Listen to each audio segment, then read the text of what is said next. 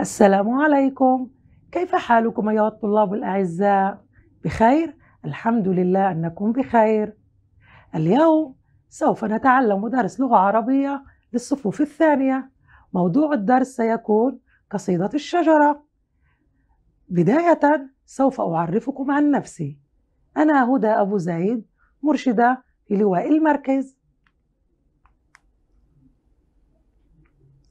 قصيدة الشجرة للصف الثاني.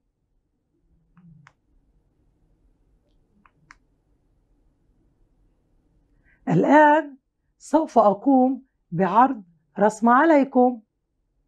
أريدكم أن تنظروا إلى الرسمة جيدا وتصفوها بكلماتكم الرائعة.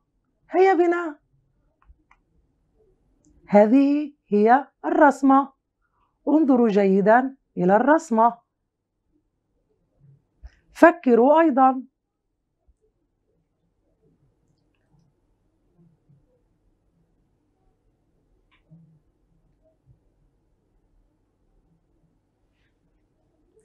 هل فكرتم؟ من يريد أن يشاركني؟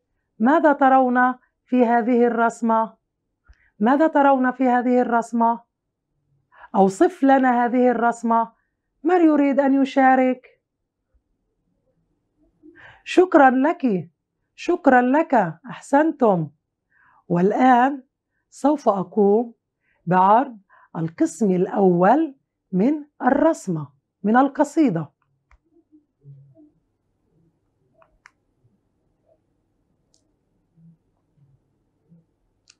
القسم الأول من القصيدة يصف لنا الرسمة التي قمتم بوصفها بكلماتكم. تمعنوا بالقسم الأول من القصيدة.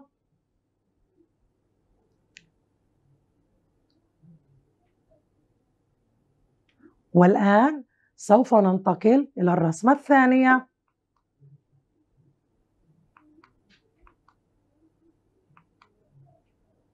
هذه هي الرسمة الثانية. انظروا جيدا. ماذا ترون في هذه الرسمة؟ أوصفوا لنا هذه الرسمة الجميلة. هيا فكروا. فكروا معي. رائع.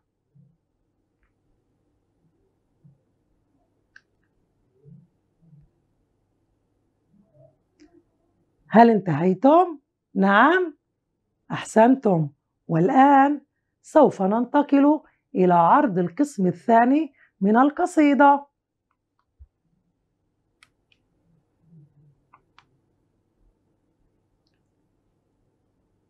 هذا هو القسم الثاني من القصيدة.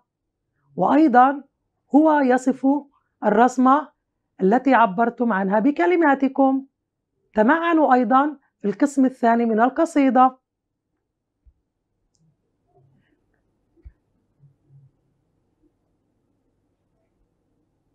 والآن أريد أن أسألكم سؤال. ماذا تتوقعون أن يكون موضوع درسنا اليوم. عن ماذا يتحدث درس اليوم؟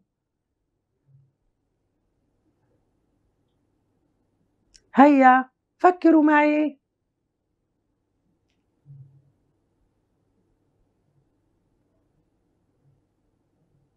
أحسنتم. من يريد أن يشارك؟ عن ماذا تتحدث القصيدة اليوم؟ عن الشجرة. رائع. من أيضا يريد أن يشارك؟ تفضلي عن أهمية الشجرة أحسنتي ومن أيضا يريد أن يشارك بالإجابة؟ تفضل عن فائدة الشجرة رائع هل هناك أحد منكم يريد أن يشاركني أيضا؟ نعم أنت عن عيد غرس الأشجار ممتاز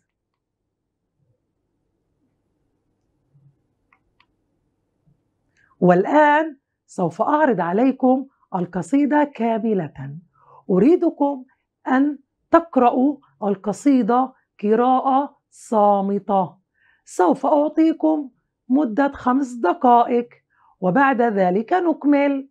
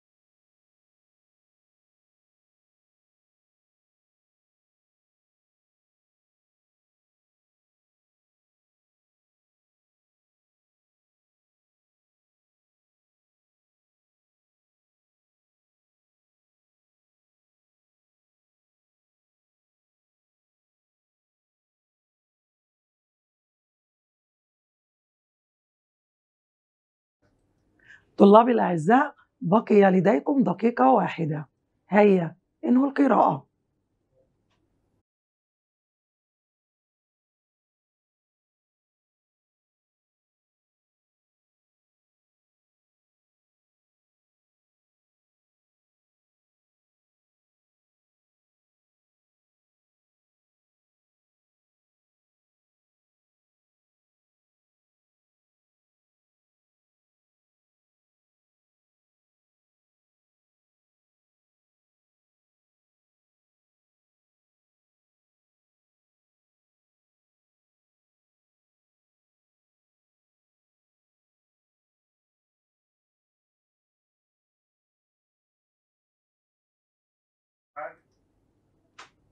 والآن هل أنهيتم قراءة القصيدة؟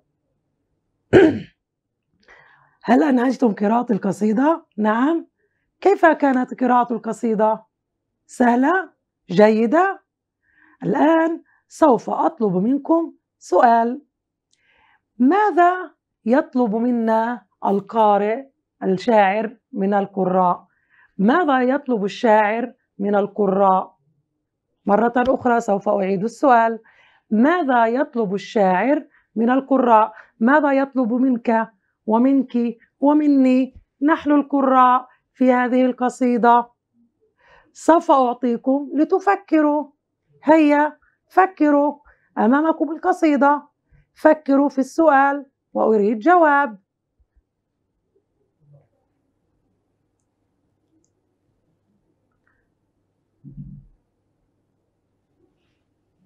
هل انتهيتم؟ أحسنتم. من يريد أن يشارك؟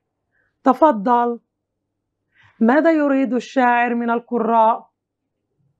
أحسنت. يريد أن نغرس شجرة. وماذا أيضا؟ أحسنت. أن نزرع شجرة. ممتاز. كل الاحترام لكم. والآن سوف أقوم أنا بقراءة القصيدة وأنتم عليكم أن تصغوا وتركزوا. إصغاء وتركيز. هيا. قصيدة الشجرة. شجرة شجرة. اغرس شجرة. تخضر الأرض وتبتسم. تصفو الدنيا يحلو النسم. أنغام خضر تسحرني هذه الأشجار. فلنزرع أرجاء الوطن. دفقات نهار. ولنسقي الأنغام العطرة ولتبقى بلادي مزدهرة. الجو بهج والأرض أريج عيد الشجرة دنيا عطرة. اغرس شجرة اغرس شجرة. هذه القصيدة من تأليف الشاعر سليمان العيسى ومن كتاب لغتي في الصيف. الآن سوف أنتقل إلى الأسئلة. أسئلة المناقشة. هيا بنا.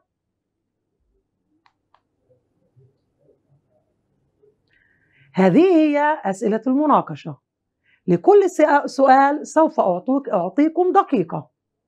ولكن هناك أسئلة بحاجة للتفكير. سوف أمدد الفترة لكم فيما بعد. من يريد أن يقول لي السؤال الأول أن يقرأ السؤال الأول؟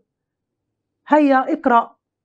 السؤال الأول أحسنت ما هي موضوعات القصيدة؟ عن ماذا تتحدث القصيدة؟ سوف أعرض الآن أمامكم القصيدة رائع تتحدث القصيدة أو موضوعة القصيدة عن عيد غرس الأشجار أو عن غرس الشجرة ممتاز السؤال الثاني من يريد أن يشارك ويقرأ السؤال الثاني؟ تفضلي. بصوت عال أريد أن أسمعك. أحسنت. ماذا يطلب الشاعر من القراء؟ مرة أخرى أعيد السؤال. ماذا يطلب الشاعر من القراء؟ هيا فكروا. القصيدة أمامكم. اقرأوا وفكروا. وبعد ذلك نجيب. سأعطيكم دقيقة. هيا.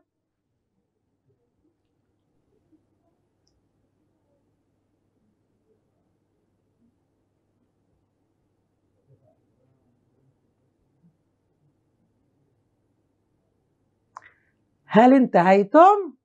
أحسنتم. السؤال الثالث. أريدكم أن تفكروا في السؤال الثالث جيدا وسوف أعطيكم أكثر من دقيقة. من دقيقة حتى دقيقتين. السؤال الثالث يقول من يريد أن يقرأ معي السؤال الثالث؟ من يريد أن يشاركني في قراءة السؤال الثالث؟ أنت؟ تفضلي. هيا. استعمل الشاعر كلمات من عالم النبات والأشجار. حددها. مرة أخرى نعيد السؤال. هيا معي. استعمل الشاعر كلمات من عالم النبات والأشجار. حددها. نعود إلى القصيدة ونبحث عن الكلمات التي تتبع إلى مجموعة النبات والأشجار. هيا بنا نبحث عنها. تستطيعون أن تحددوها على الشاشة بالإصبع أو تستطيعون أن تكتبوها على ورقة خارجية. سأعطيكم مدة تفكروا دقيقتين.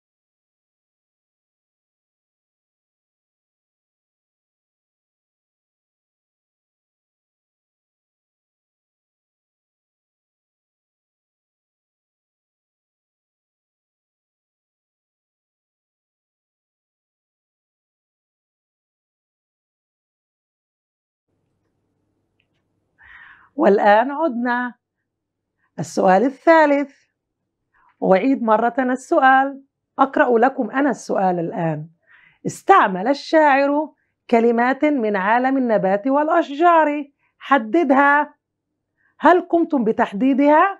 من يقول لي كيف حدد الكلمات أولا؟ كيف حددتم الكلمات؟ بالألوان أحسنت وأنت كيف حددت؟ كتب بالكتابة على الورقة أحسنت وأنت كيف حددتها؟ أحسنت على الشاشة. أحسنتم. الآن سوف نعود إلى القصيدة لنحدد الكلمات التي تتبع إلى عالم النبات والأشجار. هيا بنا. من يريد أن يشاركنا؟ يلا. شجرة. أحسنتم. ماذا أيضا؟ اغرس ممتاز. ماذا أيضا؟ الأشجار. أحسنت. ماذا أيضا؟ مزدهرة ممتاز ماذا أيضا؟ إغرس رائع ماذا أيضا؟ من يريد أن يشاركني أنت؟ فلنزرع أحسنتم جميعا هذه هي الكلمات التي تتبع إلى مجموعة النبات والأشجار في القصيدة الآن سوف نأتي إلى السؤال الرابع من منكم أحبائي يريد أن يقرأ لي السؤال الرابع بصوت عال؟ من يريد؟ تفضل. هيا. أحسنت. قراءة سليمة. هيا بنا نقرأ السؤال الرابع معا. استخرج على الأقل عبارة واحدة أعجبتك من النص ثم اشرحها. سوف نختار عبارة واحدة من النص النص أمامكم وسوف تقوم بشرح هذه العبارة بكلماتك الجميلة. ممكن أن تختار العبارة وتقوم بكتابتها على الدفتر أو على ورقة ثم تفكر بها وتشرحها. سوف أعطيكم دقيقتين لتفكروا وتشرحوا.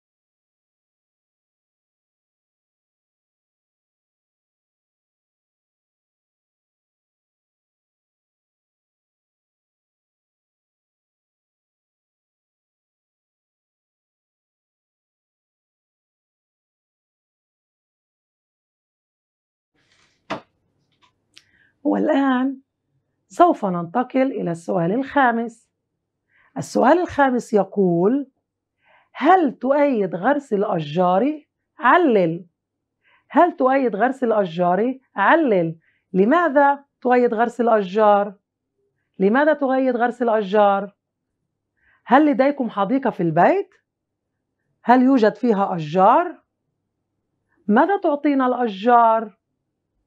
كيف نحافظ على الأشجار؟ ما هي أهمية الأشجار؟ ولماذا ذكرت الأشجار أيضا في القرآن؟ شجرة الزيتون، التين والزيتون لأهميتها أحسنتم إذا لماذا أنت تؤيد غرس الأشجار؟ سأعطيكم الآن ثلاث دقائق لتكتبوا هذا السؤال في الدفتر وتجيبوا عنه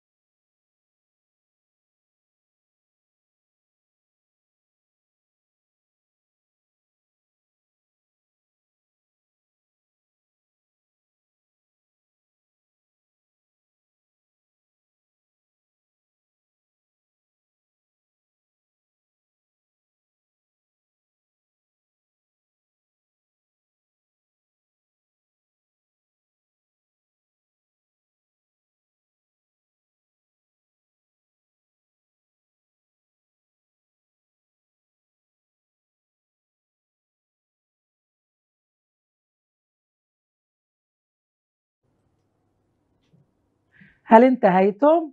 سوف أعطيكم وقت إضافي فيما بعد ولكن قبل أن نجيب عن السؤال الخامس سوف نعود للسؤال الرابع سوف نعود للسؤال الرابع ماذا يقول السؤال الرابع؟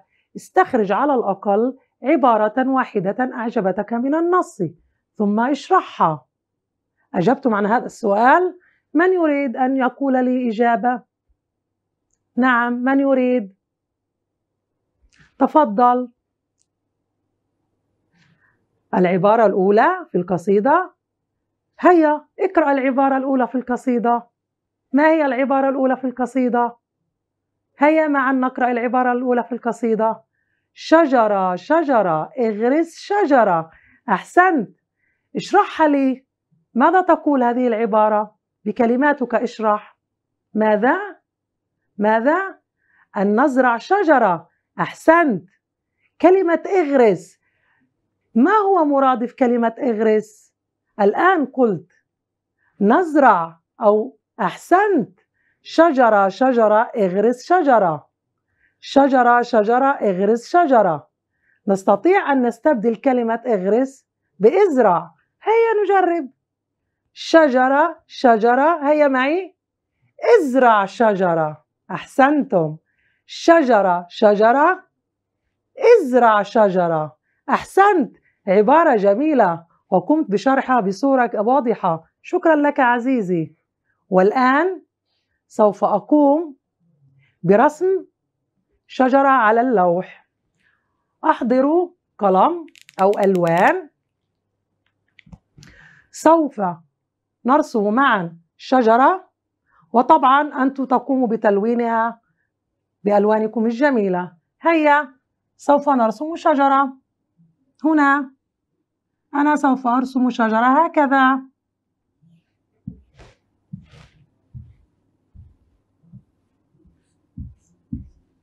هذه هي الشجرة في داخل. كل في داخل الشجرة سوف نرسم قلوب. طبعا أنتم تختاروا الألوان.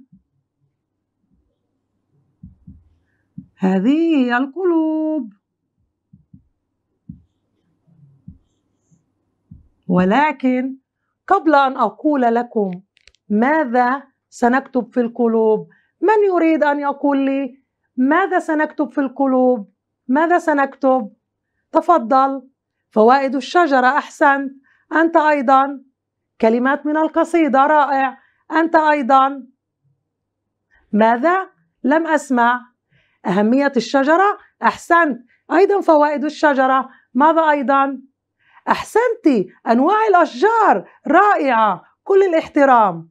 أنا سأطلب منكم ماذا أريد أنا؟ أن أكتب في القلوب. اليوم أنا سأكتب في القلوب الأمنيات. كل واحد منكم يكتب أمنية واحدة داخل القلب الأحمر. كل واحد يكتب أمنية واحدة داخل كل قلب أحمر. سوف أترككم تنهون هذه الفعالية في البيت. والآن سوف نأتي إلى نهاية الدرس. أولا سعدت بمشاركتكم. جدا وتفاعلكم مع القصيدة ومع الدرس من يريد أن يقول لي بكلماته عن ماذا تعلمنا اليوم في القصيدة؟ عن ماذا تعلمنا اليوم في القصيدة؟